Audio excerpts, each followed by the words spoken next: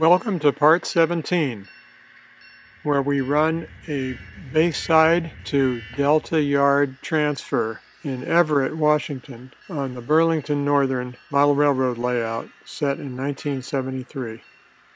I'm your host, Burr Stewart, and I was planning to make this video about abrasive F units that I really enjoy listening to and watching. But I realized that the FA uh, unit on the end there, number 770, was facing the wrong direction and we really ought to turn it in the turntable. But in order to get to the turntable, we needed to go up the turntable lead, which uh, it, it turns out was blocked by the switcher that we normally use in Delta Yard. A bright red SD9 left over from the CB and Q. There's the switcher. You're familiar with it from previous videos. So I thought, well, let's get the switcher out of the way by running a transfer of the eastbound cars that need to be taken from Bayside Yard over to Delta for the next transcontinental freight. So we assembled a crew, jumped on board, and got to work. Our locomotive is coming out of a very odd-looking structure, which is a kit-bashed sand tower from European origin, unknown. It's a stand-in for what hopefully will be a future sand tower of known origin. And don't be distracted by all those F units. We'll get to enjoy them in a future video.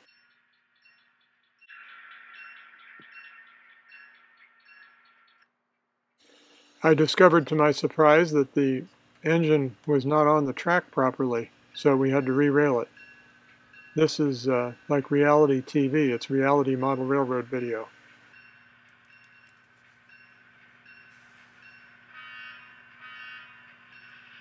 Should have blown more for that grade crossing, shouldn't I have?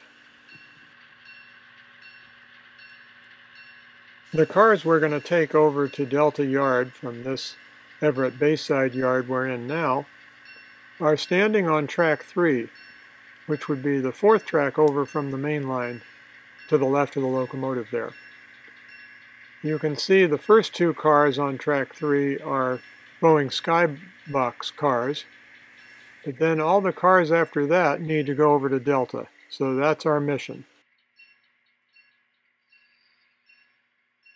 But first we have to get down to the other end of the yard, which will take a little while, and also pick up our car cards. The prototype Bayside Yard on the Great Northern and then the Burlington Northern and now the BNSF was really two yards in a row. The yard represented by those three tracks on the right was called the Scott's Yard because it served the Scott Paper Company. And the three tracks on the left was referred to the New Yard because it served the Port of Everett and other shippers there and was built later, hence they called it the New Yard. But our cars are on track 3 in Scott's Yard, as you can see on this map. Here are the car card boxes for the Scott's Yard, and on track 3 there we have a bunch of cars with purple waybills indicating that they're heading back east towards Minneapolis for one reason or another, and we need to get rid of them. Now the eastbound through trains pick up at Delta, so that's why we need to do this run. And you can see there I've just grabbed the engine card and put them together in a car card packet. Put it in my pocket.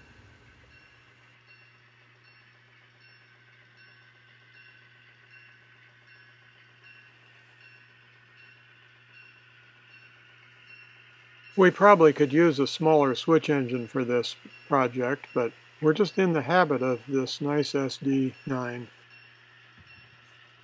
And as you know, model railroading habits are hard to break sometimes.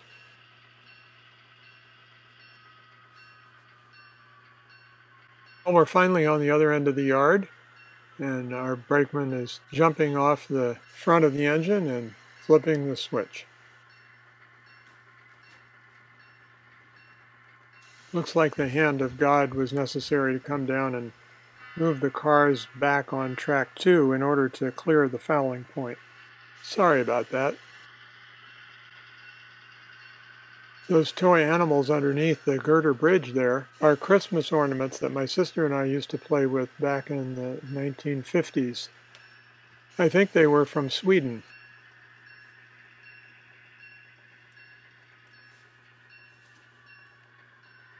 Bang! It turns out that just because you bang into a cut of cars doesn't mean that the engine couples up to the first car. I had to go in there with an uncoupling pick and line up the coupler heads.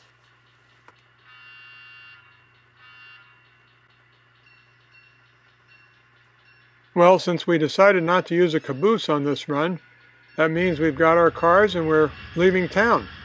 Just like that.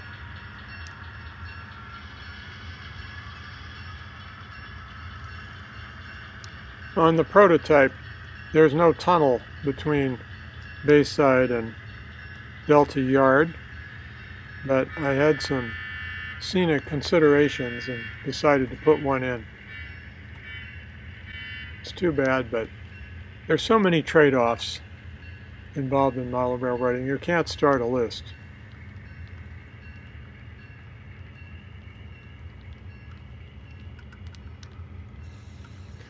This is a nice group of cars from the era of the early 70s, or mid 70s in the case of that Soo Line car.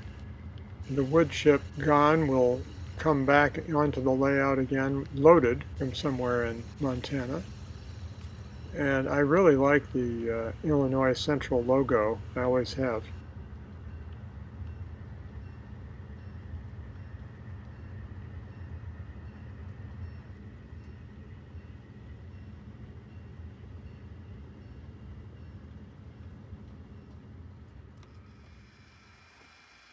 On the other side of the tunnel, we have to set the switch to go into Delta Yard. If we didn't take the right-hand turn there, we would go straight up the hill towards uh, Bellingham and Vancouver, BC. So this is a very important switch to get right.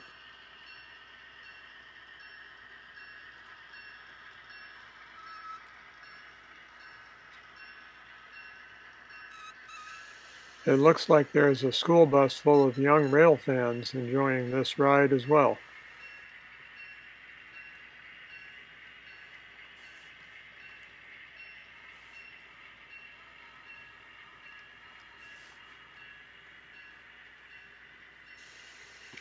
In the far distance there, we're uh, pulling into the throat of the Delta Yard, and uh, we'll look at that in a minute from a different angle.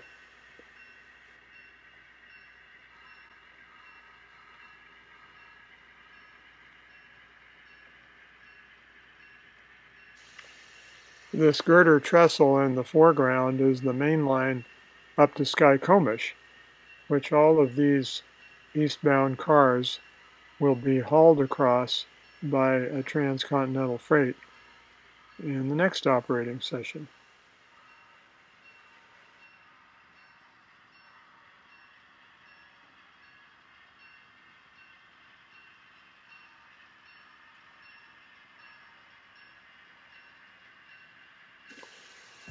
Well, here we're going to stop and let the brakeman get out and align the switch properly. In the case of these first two switches, they're already aligned properly, but I just wanted to demonstrate that a train like this coming into a yard like this would pretty much have to stop at every switch in order to enter the track that it intended to enter on. We model railroaders tend to line all our switches up at once and then roar in with our train in a big hurry. But actually railroading is a slow and steady wins the race kind of thing and you have to stop a lot to flip switches. So I'm, I'm trying to learn how to be patient and do that more. It makes it more realistic in the end.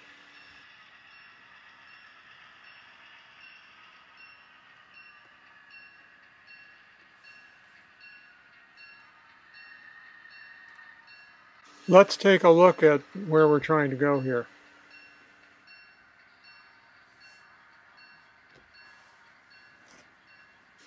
That's the main line, the siding, track 2. and track 3.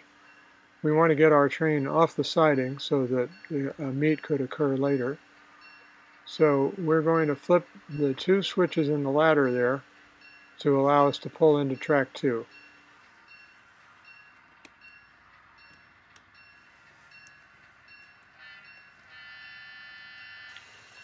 With any luck, all of our cars will fit into track 2, but we'll just have to see when we get there.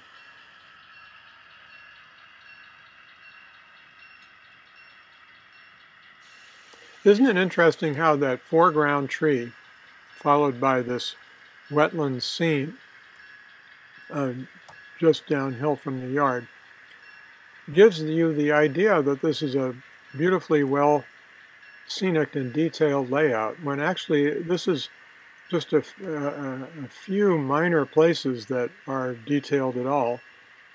But this is what uh, visitors' eyes are drawn to, and they come away thinking they're seeing a really great thing here.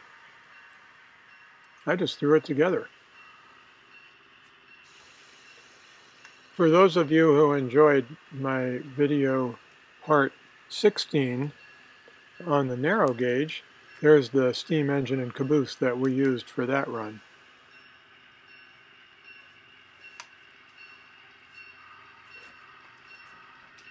I normally park the switch engine back on the narrow gauge main track there, but since that steam engine's blocking it, I guess we'll have to put the engine to bed on track 3.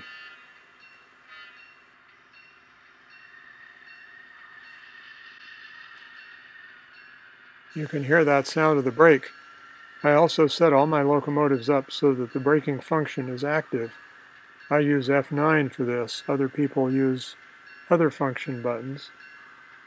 But I really enjoy being able to brake the locomotive to a stop uh, when I need to and let it coast when I don't need to.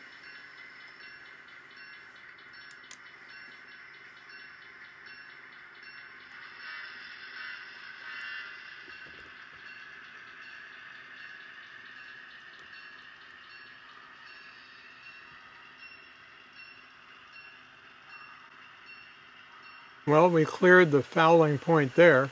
I wonder if the other end of the train is clear.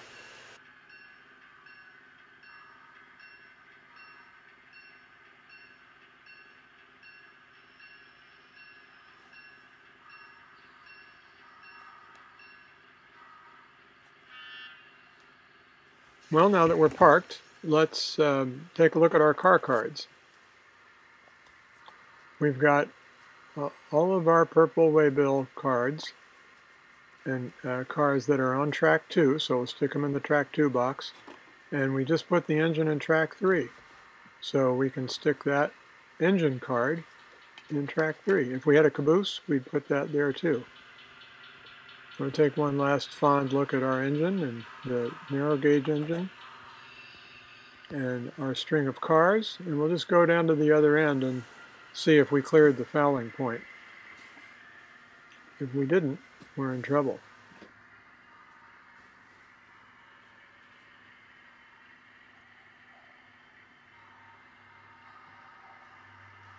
Well, that's what I call a very close call, but let's call it good. That was a job well done. Thanks for joining me. This is Burr Stewart wishing you much fun with trains.